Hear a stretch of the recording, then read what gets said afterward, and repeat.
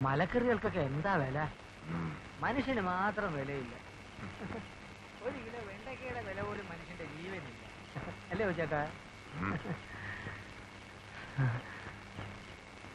ദോ.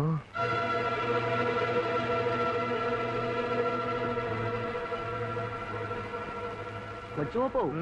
നമ്മുടെ രാഘവൻ ചട്ടമ്പിക്ക് ഇപ്പൊ പഴയതുപോലെ ഒരു ഉശിരില്ല അല്ലയോ? അത് നേരാ. എങ്ങാണ്ടൂന്നോ വന്ന തൊലിവെളുപ്പുള്ള ഒരു പെണ്ണിനെ കണ്ടതിന് ശേഷം ചട്ടമ്പിയുടെ മനസ്സങ്ങ് മാറി. വേണ്ട ചേട്ടാ വാം അങ്ങനെ അങ്ങ് പോയാലോ? അതോ നമ്മൾ തമ്മി ഇനിയും വേണോടാ. വേണം. ഇതുവരെ നീയല്ലേ നേടിയത്? ഒരിക്കലെങ്കിലും എനിക്കൊന്ന് ജയിക്കേണ്ടടാ രാഘവ. ഹ, ആ പെണ്ണ് നിന്റെയോ എന്റെയോ അല്ല. ആദ്യം കിട്ടിയത് എന്റെ കയ്യിലാ. അവിടുന്ന് എന്നെ വെട്ടിച്ച് നീ കഴിക്കലാ. അത് നിന്റെ മിടുക്ക്. സമ്മതിച്ചു. ഇനി കുറച്ചു ദിവസത്തേക്ക് എനിക്ക് വിട്ടുകാടാ ചോദിച്ചാ തന്നില്ലെങ്കിലേ ചോദിക്കാതെ ഞാൻ തട്ടിപ്പറിക്കും ഓർത്തോ. കൊച്ചാട്ട സമാനപ്പെട വീട്ടിൽ പാ.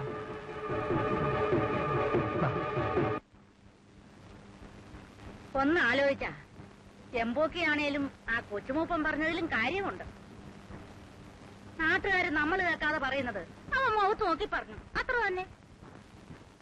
രാംകുഞ്ഞ് ആ പെങ്കൊച്ചിന്റെ സ്ഥാനം എന്തുവാ നിങ്ങളുടെ വീട്ടിൽ? കുഞ്ഞിന്റെ ആരാ അവൾ? അല്ലെങ്കിൽ അവിടെ ആരാ കുഞ്ഞ്? ഇനി ഒന്നും ആലോചിക്കാനില്ല. ആ കിട്ടുക്കണിയാരോട് പറഞ്ഞ് ഒരു നല്ല സമയം കുറിപ്പിക്കണം. എന്നിട്ട് ആ പെങ്കൊച്ചിന്റെ ഒരു മിന്നും കെട്ടണം ഒരു പുടവയും കൊടുക്കണം. പിന്നെടുത്തനൊന്നും പറയുന്നില്ലല്ലോ. അതെ അതാണ് അതിന്റെ ശരി. കൊച്ചാട്ടനും നിന്ന് എന്നാ മതി. താലിമാരെ സംഘടിപ്പിക്കുന്ന ഒരു ഡയമണ്ട് ഏറ്റു. മീശ പോയാലും ഡൈമണ്ട് ഡൈമണ്ട് തന്നെ. ആടുതനാവൂല്ല കുട്ടി.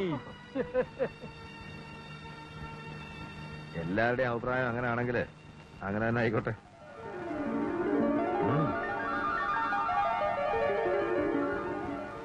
എല്ലാരും കൂടെ ഒന്ന് സമ്മതിച്ചാ വേണമെങ്കിൽ ഈ കൂട്ടത്തിൽ എന്റെയും കൂടെ അങ്ങ് നടത്താമായിരുന്നു ഒരു പാഴ്ചെലവ് വേണ്ട.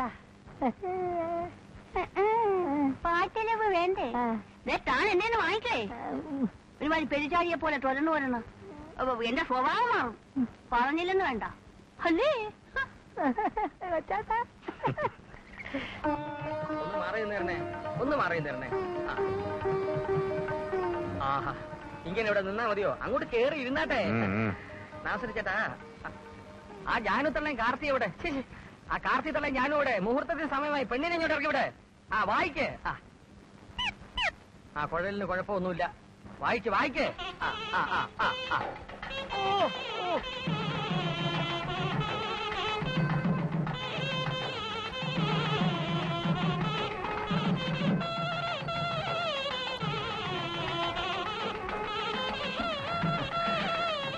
ചേട്ടാ മുല്ലയ്ക്കൽ ക്ഷേത്രത്തിൽ നിന്ന് പൂജിച്ച താലിയാ. ആ പൊൻകുരിശിന്റെ മേളിലോട്ട് കെട്ടിക്കോ. രണ്ട് ദൈവങ്ങളുടെ ശക്തി ഉണ്ടാവും. ഇതാ ആ കെട്ടിക്കോ.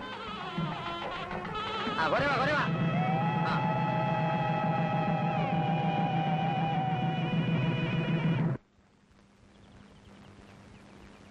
ബോട്ട് കട വന്ന് ഇറങ്ങിയപ്പോ കേട്ടു നിന്റെ കല്യാണം കഴിഞ്ഞു. ഓ ഇന്നൊന്നും ആലോചിക്കാൻ നിന്നില്ല. ആ പോട്ടെ. നീ എനിക്ക് അത്ര വില കൽപ്പിച്ചിട്ടുള്ളെന്ന് മനസ്സിലായി. അങ്ങനല്ല മത്തായി പെട്ടെന്ന് അങ്ങനെയൊക്കെ വേണ്ടി വന്നു. ഡൈമനെ വിട്ട് അന്വേഷിച്ചപ്പോ മത്തായിച്ച ആലപ്പുഴയാന്ന് അറിഞ്ഞു. അത് നേരെ. ഒരാഴ്ചയായിട്ട് ഞാൻ അവിടെ ഇല്ലായിരുന്നു. ആലപ്പുഴയിലായിരുന്നു. ഇച്ചിരി കണക്കൊക്കെ തീർക്കാനുണ്ടായിരുന്നു. ഞാനേ നമ്മുടെ ജൗളിക്കട അങ്ങ് നിർത്തി. ഓ കടം കൊടുത്ത് കട നടത്തി കടക്കാരനാവുന്ന എന്തിനാ? ഞാൻ കടയകു പൂട്ടി. അതൊക്കെ പോട്ടെ. ഏതാ പെണ്ണെ? അത് ഒരു ക്രിസ്ത്യാനി കൊച്ച. എടാ വമ്പ അപ്പൊ നീ മതമൈത്രി നടപ്പിലാക്കി. ഇത് വെച്ചു. അണ്ണാച്ചി അന്ന് വിട്ടതാ. വസ്തു കൊടുത്തതിന്റെ ബാക്കി. ഒരാഴ്ച ചുമന്നുകൊണ്ട് നടക്കുക. പിന്നെ നുള്ളിപ്പെറുക്കി കളയാതെ വല്ല കൃഷിയെ കച്ചവടം ഒക്കെ ചെയ്യേ. പണ്ടത്തെ പോലല്ല വീട്ടിൽ പെണ്ണൊരുത്തിയുണ്ട്. നാളെ കൊച്ചുങ്ങളും ഉണ്ടാവും. അവസാനം വെള്ളം കുടിക്കാടിയാക്കരുത് മതി മതി. വീട്ടിൽ ചെന്നാ ഊണ് കഴിച്ചിട്ട് വാ. നടക്ക്. വീട്ടിൽ വരാതെ പോവാനോ? നിന്നെ കുടുക്കിയ മിടുക്കത്തി പെണ്ണിനെ എനിക്കൊന്ന് കാണണം. വാ. വാ. ദേ ഒന്നിങ്ങോട്ട് വന്നേ. നാണമൊന്നും വേണ്ട. വളരെ വേണ്ടപ്പെട്ട ആളാ. ഒന്നിങ്ങോട്ട് വന്നേ.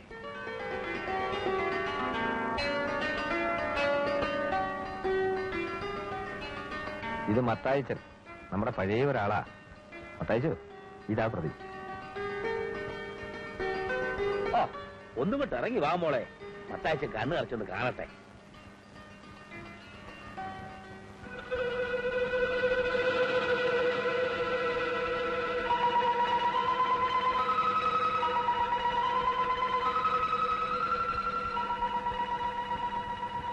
കുഞ്ഞെന്നെ കണ്ടിട്ടുണ്ടോ? എന്നാ കുഞ്ഞിനെ എനിക്കറിയാം.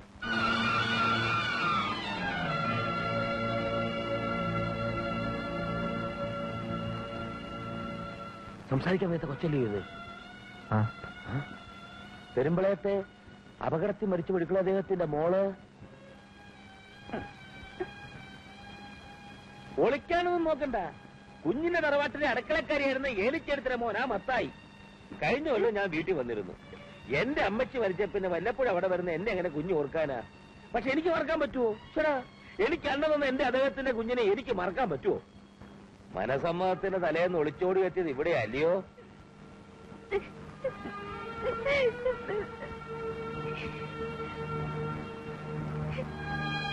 അത്താജം വന്നേ. എടോ ഇതൊരു കുരിശ. കൊച്ചേതാണെന്നറിയാവോ? ഒരു കര മുഴുവൻ അടക്കി ഭരിക്കുന്ന തറവാട്ടിലെയാ. എടോ നിനക്കൊന്ന് സ്വപ്നം കാണാൻ പോലും പറ്റാത്ത കക്ഷിയാണെന്ന്. കുറെയൊക്കെ മനസ്സിലാക്കി തന്നെ മത്തായിച്ചാ ഞാൻ അവളെ കെട്ടിയത്. പിന്നെ കൂടുതലായിട്ടൊന്നും ചോദിച്ചില്ല. പരമാവധി പറഞ്ഞു പോയിക്കോളാൻ. പോയില്ല. പിന്നെ അയക്കേണ്ടെന്ന് എനിക്കും തോന്നി. എന്റെ തണൽ വേണമെന്ന് തോന്നിയ ഒരു പെണ്ണിനെ അങ്ങനെ അങ്ങ് ഇറക്കി വിടാൻ പറ്റൂ? പറ്റണ്ട കെട്ടിപ്പിടിച്ചോണ്ടിരുന്നോ? എടാ നിനക്കറിയോ?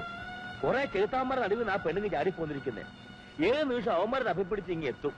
അവളോടുള്ള സ്നേഹം കൊണ്ടല്ല അവരുടെ സ്വത്തിനോടുള്ള മോഹം കൊണ്ട്. എടാ ഇട്ട് മൂടാനുള്ള സ്വത്തുണ്ട് ആ പെങ്കൊച്ചിന്. അപ്പനും അമ്മയും ആകെ ഉണ്ടായിരുന്ന ഒരു വയനാട്ടിൽ വയനാട്ടിലെങ്ങാണ്ട് എസ്റ്റേറ്റ് നോക്കാൻ പോകുന്ന വഴിക്ക് വണ്ടി മറിഞ്ഞ് അങ്ങ് തീർന്നു സാധാരണ മരണം വന്നോ അപകടപ്പെടുത്തിയാണെന്നൊക്കെ പറയുന്നുണ്ട്. ഓ ഇതൊക്കെ ആർക്കറിയാം? എന്തായാലും ഇപ്പൊ കൊച്ചിന്റെ സംരക്ഷണ കൊളരാത്ത ബന്ധുക്കൾക്കാണ് ബന്ധുക്കൾക്കാ.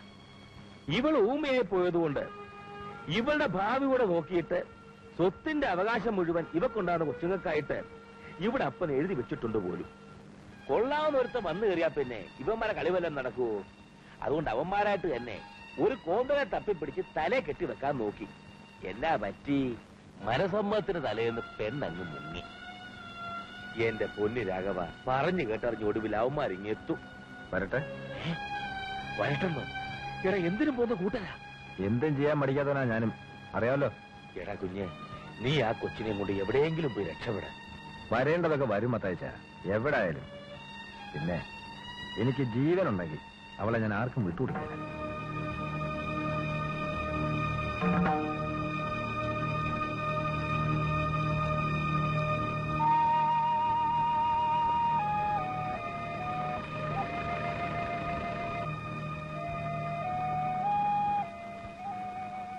എനിക്കൊന്നും സംഭവിക്കില്ല. അങ്ങനത്തെ പേടിയില്ല. പേടിയൊക്കെ നിന്നെ കുറിച്ച് ഓർക്കുമ്പോഴാ. ഒരു രക്ഷപ്പെടലിന് വേണ്ടിയിട്ടാ നീ എന്റെ കൂരെ വന്നു പെട്ടത്. അതറിഞ്ഞുകൊണ്ട് തന്നെയാണ് കൂടുതലൊന്നും ചോദിക്കാതെ നിനക്ക് ഞാൻ അഭയം തന്നത്.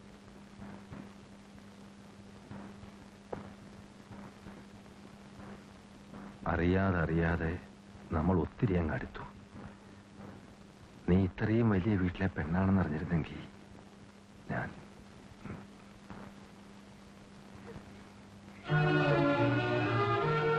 ജീവിക്കാനുള്ള ആശ നഷ്ടപ്പെട്ട ഞാൻ ഈ കരയിൽ വന്നടിഞ്ഞത് മറ്റുള്ളവരോട് വാശി തീർക്കാൻ മാത്രമാണ് പിന്നെ ഞാൻ ജീവിച്ചത്. അതിനിടയിൽ എപ്പോഴും നീ വന്നു കയറി. ഇറക്കി വിട്ടിട്ട് പോവാതെ നീ എന്റെ കോരിയിൽ തന്നെ നിന്നു.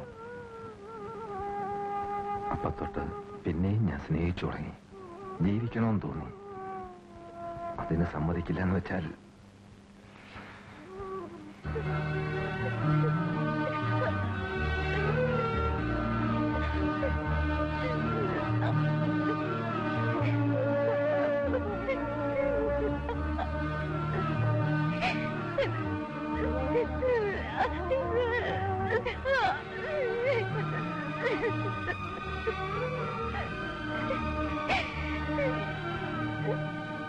ഇല്ല.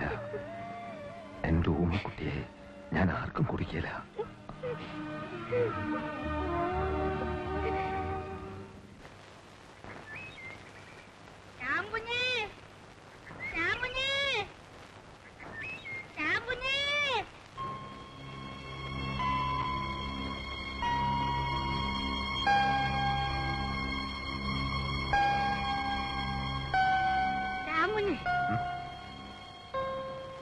എന്താ ഉള്ളേ? ഞാൻ ഇവിടെ ഒക്കെ നോക്കി. എന്തുവാന്ന്? എന്തുവാന്നോ? ആ കൊച്ചവിടെ കിടന്ന് ഛർദിക്കുന്നു ഒന്നും അറിയാത്ത പോലെ. കല്യാണം കഴിഞ്ഞ പെമ്പിള്ളാരെ ഒന്ന് രണ്ട് മാസം കഴിയുമ്പം ഛർദിക്കും ക്ഷീണം തോന്നും. അതൊക്കെ നാട്ടു നടപ്പാ. നിന്ന് മിഴിക്കാതെ അങ്ങോട്ട് ഓടിച്ചല്ലേ? കുഞ്ഞൊരു അച്ഛനാകാൻ പോന്നു. എന്തുവാ മക്കളെ ഇത്?